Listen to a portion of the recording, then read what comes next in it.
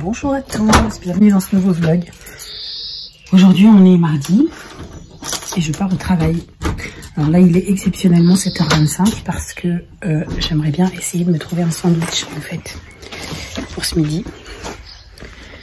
Donc euh, bah, je m'en vais à la boulangerie voir ce qu'il y a. Après je suis pas obligée d'avoir un dessert mais au moins un truc à manger quoi parce que euh, en fait j'aurais pu vous allez me dire tu aurais pu te préparer une gamelle. J'aurais pu me préparer une gamelle mais euh, en fait il faudrait que j'aille faire des courses pour racheter des légumes. Parce que euh, bah, concrètement ce que j'ai dans mes placards je vais essayer de vous mettre à un endroit où vous pourriez me voir. Ce qui en soit n'est pas vraiment évident. Parce que j'ai pas mon support que j'ai d'habitude je l'ai oublié dans la voiture d'Eric donc ouais c'est pas je sais pas, j'ai du mal à trouver euh, l'inspiration pour me faire à manger et là j'ai que des féculents dans mes placards et ça me saoule. Et euh, c'est vrai que je pourrais aller faire des courses, mais vu que je vais chez le veto euh, demain soir, je me dis, enfin, faut savoir que le, supermarché, il est quand même à 20 minutes de chez moi, donc je me dis, quitte à y aller, autant que ce soit parce que j'ai d'autres choses à faire sur place, quoi. Et en l'occurrence, demain, j'emmène Pernel chez le veto, donc j'aimerais bien y aller en même temps. Donc bah après si je trouve pas là, j'irai m'acheter un plat préparé chez Super U, mais j'aurais préféré éviter euh, d'aller euh, dans le supermarché juste pour ça. Donc euh, bah, je vais voir, là je vais passer à la boulangerie et puis je verrai ce qu'il y a. Et puis après bah, direction le boulot en espérant aujourd'hui atteindre mes objectifs. Ça devrait être de mieux en mieux normalement, donc mais on va voir. Bon, bah, je vous reprends, il est 21h. voilà. Euh, bon, du coup, ce soir, c'était un petit peu la course parce que bah, le rendez-vous avec Pernel, il a duré euh, quand même pas mal de temps. Je suis rentrée, il était... Euh, J'avais rendez-vous à 18h. Hein. Euh, je suis rentrée à la maison, il était 19h30. Donc, euh, on a fait le point sur ses yeux. On a fait le point sur l'opération de demain. En fait, ils me l'ont placé sur la journée de demain parce que pour le moment, ils n'ont aucune intervention de prévu. C'est pour ça. Euh, elle m'a dit, on peut pas la, la, placer sur une journée où on a par exemple déjà trois interventions de prévues. Elle m'a dit, si jamais on a une intervention en urgence, on pourra du coup s'occuper de Pernelle. Donc, euh, elle m'a dit, euh, ce serait quand même dommage qu'on vous donne euh, l'espoir, qu'on la prenne, etc. Et puis qu'au final, on puisse pas le faire. Donc, du coup, ils me l'ont placé donc sur la journée de demain parce qu'il n'y avait aucune intervention de prévue et que du coup, demain, même si il y avait une urgence, alors elle m'a dit à moins qu'on ait quatre urgences dans la même journée, dans ce cas-là c'est mort, mais elle m'a dit c'est plutôt exceptionnel qu'il y ait quatre urgences à gérer dans une même journée. Donc J'espère que ce ne sera pas le cas, autant pour les animaux que, bah, pour Pernel. Quand je dis autant pour les animaux, c'est que j'espère qu'il n'y aura pas d'animaux qui auront d'urgence, euh, puisque c'est toujours signe de mauvaise santé, donc euh, c'est pas une bonne nouvelle. Mais, euh, mais du coup, a priori, il ne devrait pas y avoir de soucis pour qu'elle puisse subir son intervention demain. Bon, je vous reprends, nous sommes jeudi soir. Il est actuellement 23h. A été opérée. Mais elle a toujours des hormones dans le corps. Donc en gros, bah, les chaleurs vont durer jusqu'à la fin. Donc je pense qu'on en a encore quelques bons jours encore. Donc je pense que je vais encore passer une bonne nuit de merde. Bref, du coup, euh, aujourd'hui était une journée très particulière puisque en fait hier soir j'avais prévu de me coucher tôt puisque Pernelle n'était pas là et que donc elle n'allait pas hurler. Euh, parce que là ce que vous entendez, ce que vous entendez là c'est nada hein, par rapport à d'habitude. C'est une catastrophe. Là elle hurle pas là hein, elle miaule. La nuit elle hurle donc euh, j'avoue que je vais peut-être la prendre avec moi dans la chambre cette nuit. Peut-être que le fait d'être en contact avec moi, elle, elle moins, parce qu'en fait, dès qu'elle vient euh, bah, près de moi, vous voyez, avant, elle n'était jamais câline comme ça. Quand elle, a, quand elle a ses chaleurs, elle me colle, en fait. Donc j'espère que, malgré qu'elle aura plus ses chaleurs, elle va rester câline comme ça. Hein? Puis son odeur du vétérinaire. En tout cas, son opération s'est très bien passée. Du coup, elle est vaccinée, elle est pucée, donc identifiée, comme ils disent. Elle a été testée pour euh, la... Alors, je vais peut-être dire une bêtise, la leucose, je crois, et euh, le sida du chat, donc elle est négative aux deux. Donc c'est très bien, ça veut dire que tu es en bonne santé. Voilà. Donc on a toujours des gouttes à mettre dans les yeux. Donc euh, elle m'a dit de la laisser tranquille aujourd'hui puisque voilà, elle avait eu sa dose de, contrariété puisqu'elle a quand même passé la nuit à la clinique vétérinaire. Donc euh, c'était quand même assez particulier pour elle. Hein. Elle était dans un endroit euh, qu'elle connaissait pas. Il y avait beaucoup d'odeurs d'animaux en fait. Et comme elle était en chaleur, ça l'a mise dans un état, vous n'imaginez même pas. Donc elle a passé la nuit là-bas, ça s'est très bien passé. Elle a été opérée ce matin, ça s'est très bien passé. Je l'ai récupérée à 14h, ça s'est très bien passé. Et du coup, moi, je suis partie dans la foulée. Donc j'avais prévenu euh, la vétérinaire, puisque du coup, techniquement, j'étais censée la récupérer ce soir à 18h. Sauf que tous mes plans ont été changés aujourd'hui, puisque je n'ai pas pu aller travailler aujourd'hui. Euh, je vais m'expliquer après. Mais du coup... Euh bah, je n'étais plus disponible à 18h pour venir la chercher. Donc j'ai demandé euh, à la vétérinaire euh, s'il était possible pour moi de la récupérer plus tôt, en début d'après-midi. Elle m'a dit ok, on va faire le nécessaire, on la prépare. De toute façon, elle est en pleine forme, donc il euh, n'y a pas de raison. Donc j'ai dit ok, super. Donc euh, je l'ai récupérée finalement à 14h. Et en fait, euh, bah, Là, euh, je suis partie toute l'après-midi et je suis rentrée à 22h30. Voilà. Et quand je suis rentrée à 22h30, il faisait bien évidemment noir puisque couvre-feu oblige. À 22h déjà tout est éteint dans la nuit, dans la rue, je veux dire. Il n'y a plus aucune lumière. Et du coup, euh, bah, je suis rentrée dans le noir total et quand j'ai ouvert la porte, elle s'est barrée. Abusée quoi. Mais comme elle est noire, je l'ai pas vue dans le noir. Le temps que j'allume la lumière, elle m'est passée entre les jambes quoi. Donc euh, c'est les chaleurs hein, qui font ça, ce côté fugitif. Mais euh, du coup j'ai un peu flippé au début parce qu'elle m'avait dit quand même d'attendre une journée avant de la faire sortir. Et au final, euh, en fait, elle est partie par devant. Mais en fait, elle fait toujours la même chose. Elle part par devant, elle passe sous les voitures, elle passe chez ma voisine. Et comme on a deux maisons à coller, elle fait le tour de son jardin. Et puis elle repasse par le grillage pour rentrer chez moi. Donc au début, je l'ai appelée là-bas. Donc au début, elle répondait après, elle a arrêté de répondre. Je me suis dit, hum, elle est partie. Je suis venue à la fenêtre ici et finalement, elle est rentrée par là. Donc, je lui avais servi un petit peu de pâté puisqu'elle avait droit à un, léger repas ce soir. Donc, comme ça, elle a pu prendre ses médicaments, euh, bah, son traitement de fond là pour l'herpès. Et puis, euh, donc, elle a mangé, donc elle est tranquille. Et puis, euh, bah, du coup, euh, j'étais un petit peu inquiète euh, du fait qu'elle se soit barrée, mais non, c'est bon, elle est rentrée. Voilà, du coup, euh, pourquoi j'ai passé une journée spéciale? Alors hier soir, euh, le, vlog d'hier a été très bref, euh, mais hier soir en fait, bah, je vous ai tourné la vidéo, mais en fait je m'étalais un peu sur des sujets qui sans vraiment trop d'intérêt. Donc du coup j'ai coupé au montage, donc effectivement ce que j'ai raconté hier, c'était très bref. Mais du coup je j'avais prévu en fait d'aller me coucher tôt hier parce que euh, justement Pernelle était chez le vétérinaire et donc du coup euh, elle n'allait pas miauler. Enfin, c'est même pas miauler parce que là elle miaule par exemple. La nuit elle hurle. Vous n'imaginez même pas. Donc euh, je plains ma voisine honnêtement. Donc là j'ai hâte que ça s'arrête maintenant qu'elle est opérée. Je pense que dans deux jours ça devrait être rentré dans l'ordre, dans l'ordre, pardon. Et bah du coup. Ok, elle est rentrée dans la caisse de transport. Hein. je suis toute rouge, vous avez vu dans mon cou? C'est la ceinture de sécurité. En fait, euh, j'ai pris la voiture d'Eric cet après-midi parce que j'ai dû aller rechercher mes enfants en Bretagne. Voilà. Alors ce matin, je ne suis pas allée travailler parce que hier soir, comme je le disais, j'avais prévu de me coucher tôt.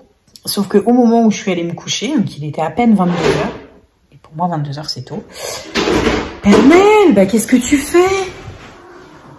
Bah ça va pas, non Bon, je sais pas comment elle a fait ça, mais euh... la caisse, elle était ici. Elle me l'a envoyée là-bas. Donc, euh, du coup, ouais, je... Si toi, tu voulais ouvrir la porte, je peux te l'ouvrir la porte, hein, si c'est ça que tu veux, d'aller dedans, je te l'ouvre. Et donc, du coup, euh, j'avais prévu d'aller me coucher de bonne heure et une fois arrivée dans mon lit, mon téléphone sonne. Et là, on m'annonce qu'en fait, euh, j'ai été en contact avec une personne qui a elle-même été en contact avec un Covid.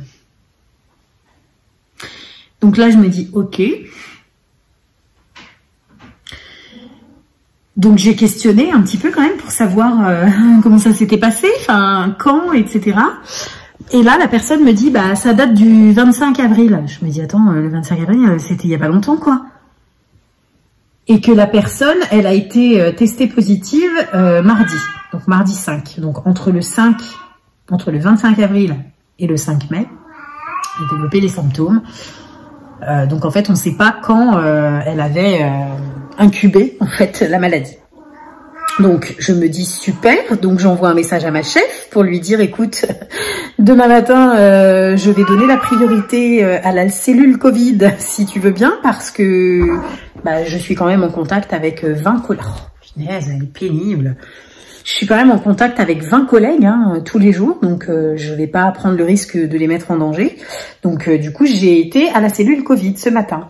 Donc euh, ils ont refusé de me tester, en sachant que juste entre la semaine dernière et aujourd'hui, j'ai quand même été en contact avec 28 personnes, hein, quand même.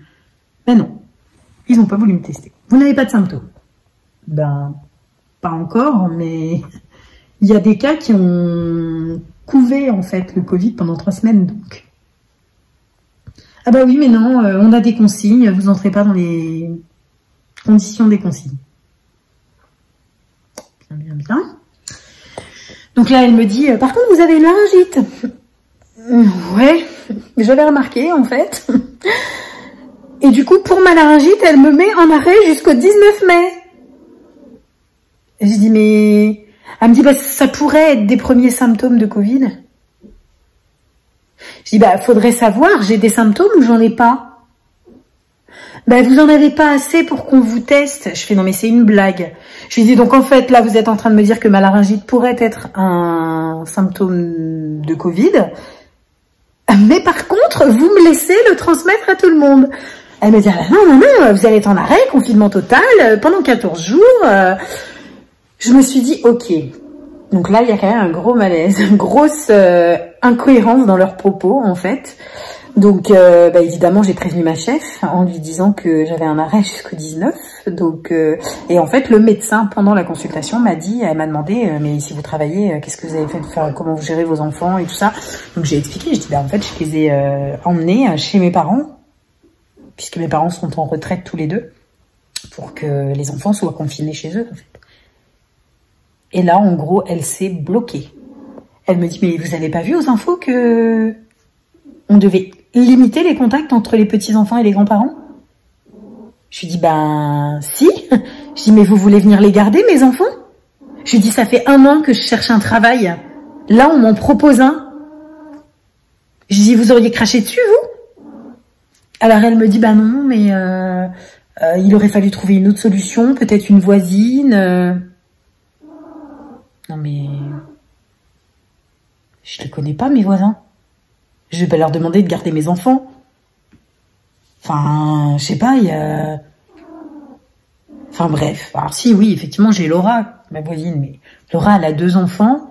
Euh, si je lui rajoute les quatre miens, euh, ça lui en fait six. Hein, donc, euh, quand on a l'habitude d'avoir une famille nombreuse, on peut en gérer quatre, on peut en gérer huit. Il n'y a pas de problème. Mais quand on a que deux enfants et qu'on se retrouve avec quatre ou six, là, je peux vous garantir que ça change la donne. Hein. Donc, j'avoue que je n'aurais pas imposé ça à Laura. Donc, après, voilà, sur mon chemin pour aller au boulot, j'ai personne, en fait. Je vais pas aller à chemiller dans ce sens-là pour ensuite retourner travailler dans l'autre sens. Enfin, parce que sur chemiller, j'ai des amis. Donc, je pense que si je demandais, on me dirait oui pour les garder. Avec, en respectant les mesures, les gestes barrières, etc., en étant très vigilant, je pense que ça aurait été possible. Mais je me dis... Euh, il n'y a pas d'intérêt à ça, quoi. Et là, en plus, ce qui m'a le plus, euh, comment dire, non, non, non, non, non, non, tu sors de là, il y a des papiers, j'ai pas envie que tu fasses pipi là-dessus. Elle a allumé l'imprimante. Du coup, bah, en gros, elle m'a engueulé. Après, voilà, je comprends tout à fait son point de vue, puisque je l'ai dit, moi-même, mon papa a une santé fragile. Donc euh, du coup, euh, ouais, en gros, voilà, pour pas parler pendant trois heures, elle m'a engueulé et elle m'a dit euh, clairement, ça va être votre activité de l'après-midi, vous allez aller chercher vos enfants. C'est dans l'intérêt de votre papa. Donc j'ai dit, bah oui, mais dans ce cas-là, je fais quoi de mes enfants? Si je dois aller travailler Elle me dit, bah vous avez droit, si vous n'avez pas de mode de garde, vous avez droit à un congé euh, spécial Covid. Je fais, non mais attendez, euh, que les choses soient claires, j'ai été recrutée la semaine dernière. Donc si j'ai accepté un emploi pendant la période du Covid, je ne peux pas aller dire à ma patronne du jour au lendemain, bah désolé, hein, je prends un congé parce que j'ai pas de mode de garde pour mes enfants. Euh, ça, c'est le genre de choses qu'on organise normalement avant. Et c'est ce que je pensais avoir fait, en fait. Et elle me dit, bah, faut voir avec le papa. Et donc, du coup, bah, j'ai demandé à Eric, et en fait, c'est Eric. Alors, Eric, lui, il est, arrêté, là, pendant huit jours. Mais, euh, du coup, euh, bah, à la suite de son arrêt, il va demander à son entreprise un congé pour garde d'enfants. Voilà. Du coup, bah, j'ai dû aller rechercher mes enfants en Bretagne. Voilà. Donc cet après-midi, je suis partie du coup de la maison à 15h30. Je suis arrivée chez mes parents à 18h30. Je suis repartie euh, automatiquement puisque du coup, euh, on a pris le temps de discuter quand même, mais à distance, puisque moi j'étais à ma voiture, mon père était dans son escalier de jardin. Et en fait, euh, je lui avais, je l'avais prévenu, je lui avais dit, bah écoute, j'arrive dans cinq minutes, donc mets les enfants dehors avec leur, avec la valise, et puis bah vous restez, restez dans la maison, et je viens récupérer les enfants. Et bon, en fait, dans la journée, il y avait eu des changements. J'ai été obligée de retourner voir le médecin Covid cet après-midi parce qu'en fait, euh, la personne m'a rappelé en me disant non mais en fait je me suis trompée, c'est pas euh, le 25 que je l'ai vu, c'est le 18. Elle dit je me suis trompée en regardant le calendrier. D'accord. Donc euh, bah au final, le 18 c'est clairement très loin quoi. Donc bah je suis retournée voir un médecin pour voir si je pouvais annuler mon arrêt parce que clairement il n'y avait pas lieu. Elle m'a confirmé que j'avais aucune raison d'être arrêtée puisque je ne suis moi-même pas porteuse. Donc euh, elle m'a dit on n'arrête pas comme ça juste en prévention quoi. Alors euh, je dis bah d'accord mais pour mes collègues elle me dit bah vous portez un masque, vous vous lavez les mains, vous respectez les gestes barrières et tout va bien. Hein. Donc euh, là je me suis dit ok. Donc du coup je vais aller travailler avec un masque. D'ailleurs il faut que je m'en confectionne là parce que parce que bah, celui que je m'étais confectionné je l'ai porté aujourd'hui donc j'aurais pas non, j'aurais pas le temps de le laver. Donc euh, effectivement, euh, je vais m'en confectionner de nouveau là pour demain. Normalement, on est censé les laver avant de les utiliser, mais bon.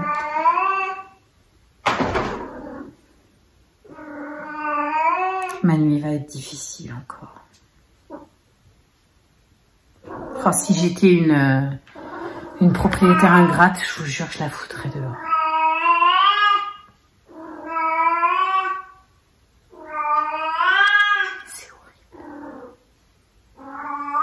horrible. J'espérais tellement qu'à son retour, elle ne soit plus dans cet état. Ben, je vais clôturer ce vlog du coup. Demain, j'en ouvrirai un autre pour ma journée de demain et de samedi. Puisque du coup, samedi matin, je travaille. Et euh, bah, samedi après-midi, je travaille aussi, mais pour la caverne. Donc, euh, du coup, euh, j'aurai des choses à filmer et à vous montrer. Puisque là, du coup, euh, forcément, j'ai repris un emploi parce que je n'avais pas de commande. Et là, depuis que j'ai repris mon emploi, les commandes coulent à flot. Forcément, le, confinement se termine. Donc, voilà. Donc là, j'ai vraiment, je dois avoir quatre ou cinq commandes à traiter. Sauf que avec la journée de dingue que j'ai passée aujourd'hui, honnêtement, ce matin, quand on m'a mis en arrêt, je me suis dit, bon, bah, comme ça, je vais pouvoir travailler pour la boutique. Sauf que euh, bah, je me suis vite dit qu'en fait mon arrêt, euh, non, c'était n'importe quoi. Donc euh, ben voilà ce qu'elle me fait la nuit. C'est dur, hein Comment vous voulez dormir? C'est pas possible. Je peux pas dormir comme ça. Tout le monde me dit, bah, mets des bouchons d'oreille. Ah ouais, mais si je mets des bouchons d'oreille, j'entendrai pas mon réveil, en fait. Donc, euh, J'espère que ça va s'apaiser rapidement. Je pense que je vais lui mettre un gant de toilette d'eau froide sur la foufoune euh, là avant d'aller me coucher pour histoire de la calmer un peu là parce que parce que sinon c'est pas possible. On me l'a conseillé sur TikTok en fait, parce que j'ai mis une vidéo il y a deux jours. Euh, justement, j'ai filmé les, les, hurlements de Pernel en disant euh, Vous entendez ça? C'est une chatte en chaleur. Je dis alors le prochain qui me dit que je suis chiante quand j'ai mes règles, je le défonce. Voilà, la vidéo c'était ça. J'ai reçu, mais la vidéo elle a fait plus de, je crois qu'elle a fait plus de 40 000 vues. J'ai eu mais plus de 300 commentaires. Enfin, je m'attendais pas du tout à un tel engouement. Hein. Honnêtement, j'ai posté ça là parce que j'étais énervée et je me suis dit, allez, euh, je partage ma rage. Mais honnêtement, je pensais vraiment que c'est une vidéo qui n'aurait absolument pas sollicité l'attention, quoi. Ben, quand je me suis réveillée le lendemain matin, j'avais 86 commentaires déjà, alors que je l'avais posté à minuit et demi. Je me suis dit, ok Donc, il y a des euh, abonnés, parce que pour la plupart, c'était pour me dire, ah ouais, c'est la même chez moi. Bah oui, c'est le printemps des amours, donc c'est la saison des chaleurs. Et du coup, euh, tout le monde me dit, ah ouais, j'ai les mêmes, euh, je, vis le même calvaire, courage, on va s'en sortir, enfin que des trucs comme ça. Et il y en a une qui m'a dit, moi, quand elle est énervée comme ça, enfin quand elle est excitée comme ça, je lui mets un gant de toilette d'eau froide sur la foufoune et ça la calme direct. Mais bon, ça va pas durer toute la nuit non plus, mais ça me permettra au moins de m'endormir. Donc euh, bah, je pense que c'est ce que je vais faire si elle ne se calme pas d'ici euh, à ce que j'aille au lit. Voilà. Mais bon, j'ai encore 25 minutes de montage à faire, donc je ne suis pas couchée. Voilà, donc bon, je vais quand même vous faire un gros bisou, quand même, parce que j'y tiens. Et puis je vais vous souhaiter une bonne journée, euh, qui du coup pour vous sera un jour férié. bah, pour moi, ce serait une journée de travail, mais plus courte, puisque je ne fais que 7 heures demain, contre 8h30 d'habitude. Et bah, du coup, je vous reprendrai. Hein, demain, je revloguerai. Demain matin, je ne sais pas, mais au pire demain soir. Et, euh, puis, bah, je vous raconterai cette reprise, comment ça s'est passé, parce que j'imagine que je vais avoir des commentaires hein, de la part des collègues, machin, pour me dire ah mais t'es revenu. Donc je vais devoir dire à tout le monde bah non mais en fait je l'ai pas. Donc du coup j'ai eu en fait j'ai eu peur pour rien concrètement c'est ça. Donc voilà. Donc je vous souhaite une bonne journée euh, bah, pour ceux qui ont le jour férié, euh, une bonne journée de repos. Et puis bah, pour ceux qui, comme moi, vont travailler, je vous souhaite bon courage, n'est-ce pas? Et puis euh, bah, du coup, je vous dis à demain pour un nouveau vlog. Ciao